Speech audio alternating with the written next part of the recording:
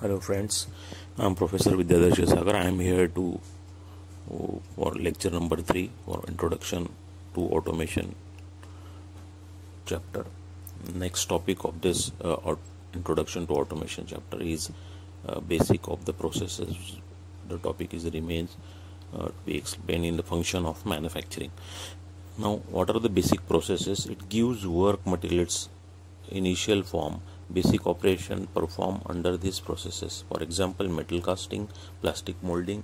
In these cases the raw material converted into the basic geometry of the product. The basic process in which the material get converted into a basic geometry basic shape of the product. Now the secondary process. In which secondary process that it gives the work part a final design geometry and the basic operation performing on it when in basic processes the initial form we giving to the raw material in the secondary process we are giving the desired geometry or the required dimensions to the in process material. For example turning drilling and milling operations like these are some machining operations we need to be performed on the secondary processes then in third operation to enhance physical properties. It is do not change the physical geometry of work part only change the material properties. For example heat treatment and annealing. Operation in which the physical properties we are enhancing means we are enhancing the physical mechanical and different chemical properties of the material then in such a way that the product can be sustained for a longer period of time in the services then the finishing operation after the performance of the physical uh, property enhancement operations physical or finishing operation per operation to be performed to enhance its aesthetic look to improve its final process reforms and improve appearance of the work part like surface coating chromium plating and painting.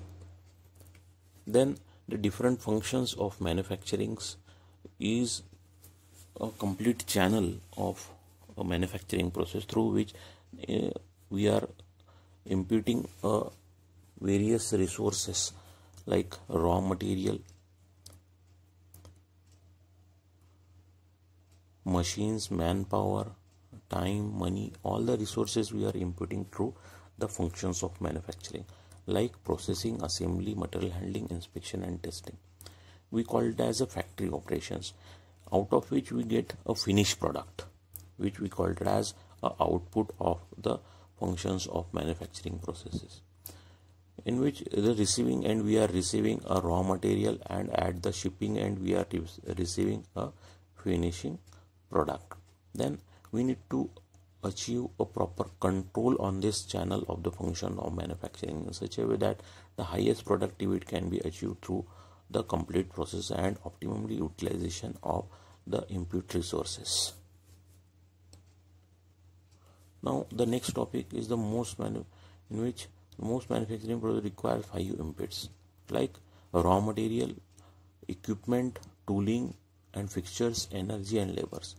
Then the manufacturing process produces two out of outputs the complete workpiece and the scrap waste right when we are giving the input in form of various resources as raw material equipment tooling energy and labor we will get the output as a part of finished product. But simultaneously when we will get the finished product the scrap and waste material also will be the output of the manufacturing processes.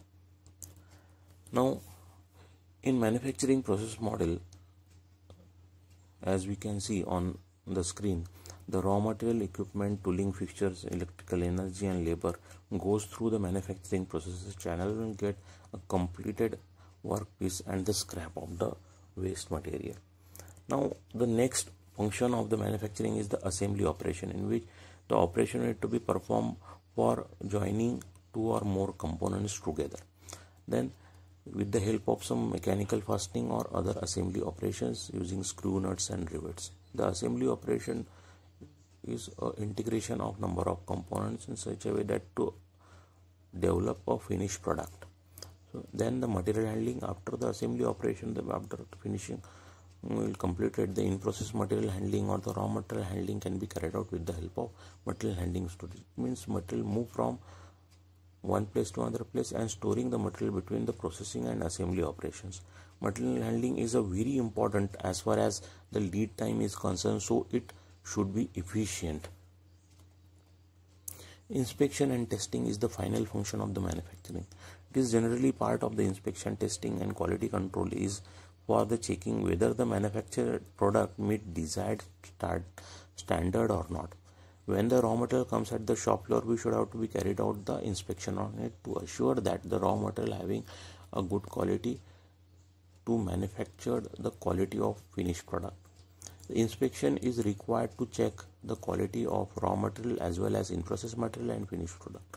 So inspection for checking whether the product is under the given specification of design like dimension and eh, engineering drawing.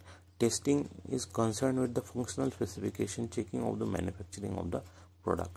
Then the final testing of the product ensure that the function and the operate properly then we should have to be achieve a proper control on all type of functions for achieving highest productivity. It gives manufacturing includes both regulations for individual processing in which the total monitoring and controlling of the complete unit to induce effective use of labor to induce optimum utilization of material and resources if and also use effective cost saving factors.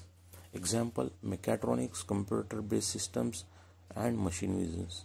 Then and also computer integrated manufacturing plays important role for the control of the manufacturing processes. Thank you very much for the today's lecture